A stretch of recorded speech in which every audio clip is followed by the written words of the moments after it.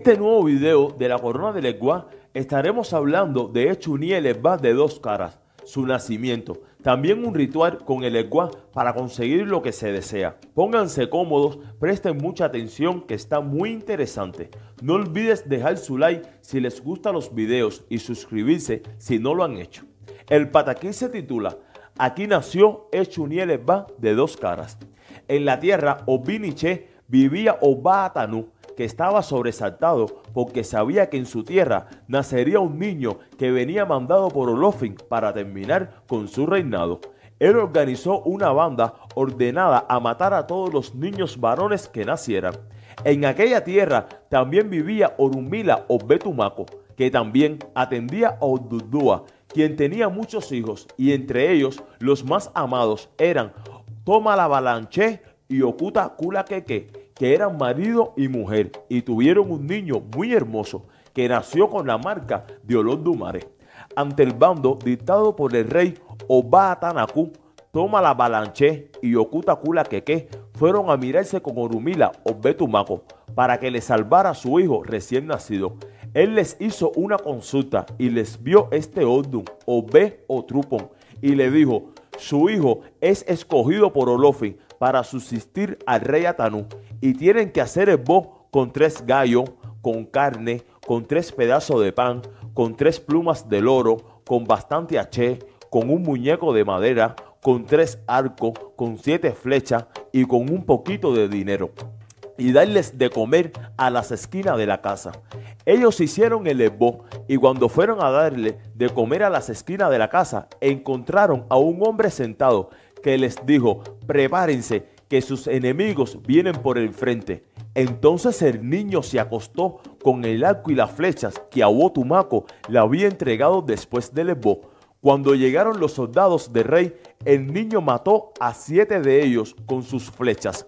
Al día siguiente, el rey mandó a otros siete soldados a matar al niño y los padres, al ir a darle de comer a las esquinas, volvieron a encontrar al hombre desconocido que les dijo, regresen rápidamente a la casa, que los enemigos vienen por el fondo. El niño se acostó detrás de la puerta del fondo y disparó su flecha, matando a los siete soldados. Enterado de esto, el Obá Atanú no quiso creerlo y fue a casa de los hijos de Odudúa y comprobó que todo era cierto y salió huyendo pues le cogió miedo a lo moquenquere, es decir, al niño.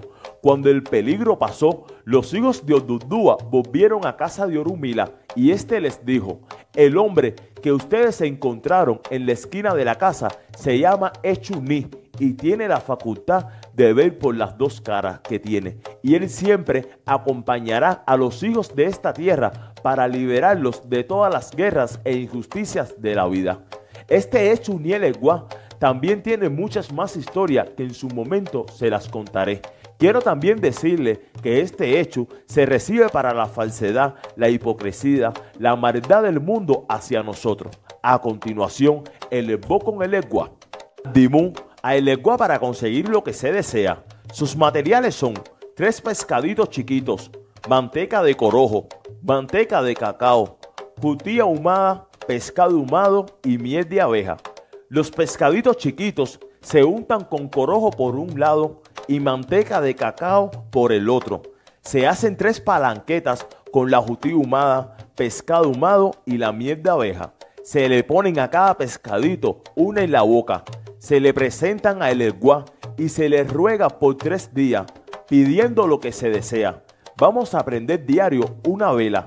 Esto después, al tercer día, se llevará al monte o se dejan en distintas esquinas. Espero les haya gustado mucho este nuevo video de la corona de Legua. No olvide suscribirse y dejar su like. Olofin me los bendiga. Oni Mireo.